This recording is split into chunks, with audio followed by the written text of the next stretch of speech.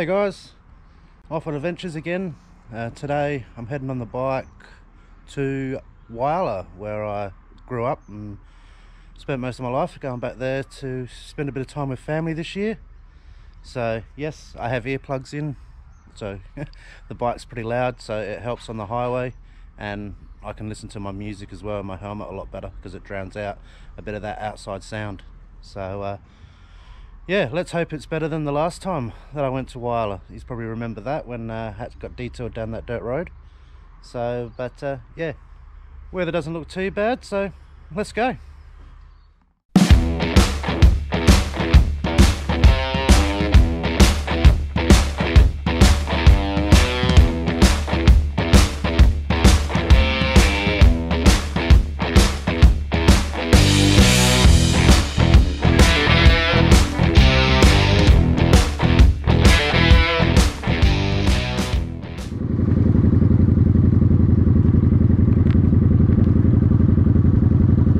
Roadworks.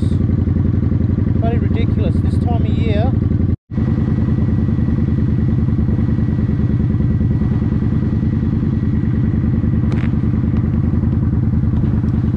Been here for about 10 minutes now.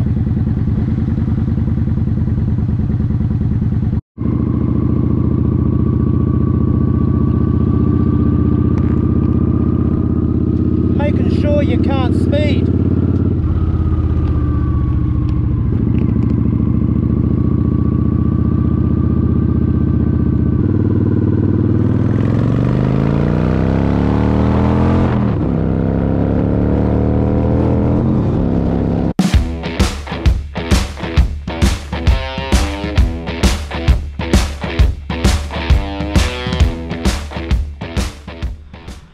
Stopped at Perry's, the Tin Man, just outside Port Pirie.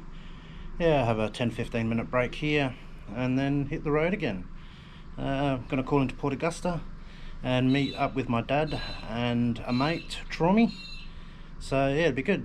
Have a couple of people to ride into Whyalla with. So it's been a pretty good trip so far, um, except for when I had to pull over because a wasp got in my helmet somehow. But uh, lucky it died on impact and just dropped in dead. so, all right, well, I'm have a drink and uh, then hit the road.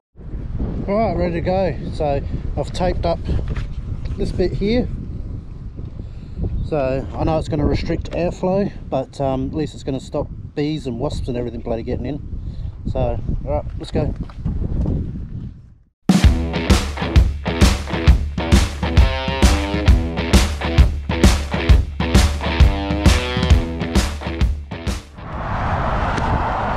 Dickhead I am. I just had to race back to the Tin Man. I was about 20, 20 minutes down the road because I left my bloody bag here. So thank God someone handed it in. So whoever the bloke was that handed in my bag to um, the service station, Perry's, thank you so much, legend. All right, let's go again.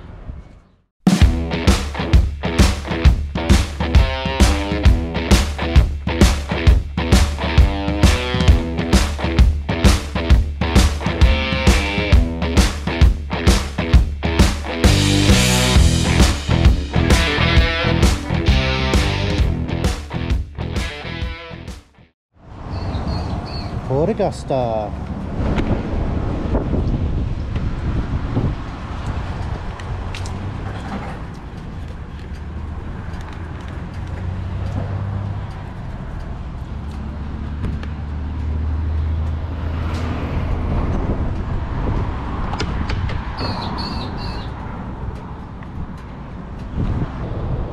Just waiting on my dad and Traumy to get here now so I don't know how far away they are. Hopefully not too far away.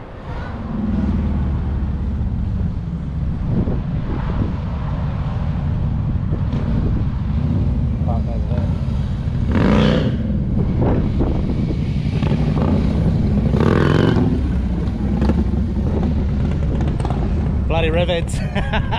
Yeah the boys